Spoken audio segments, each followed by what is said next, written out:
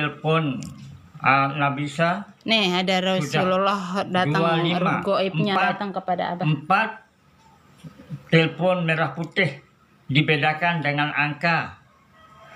Kalau merah putih ada angka 24 berarti Nabisa.